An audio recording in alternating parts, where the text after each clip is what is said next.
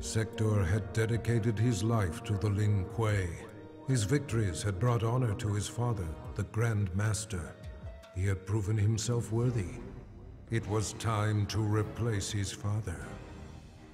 In a bold attack, Sektor smashed through a company of Lin Kuei guards as he pushed toward the Grand Master's chamber. There he found his father waiting.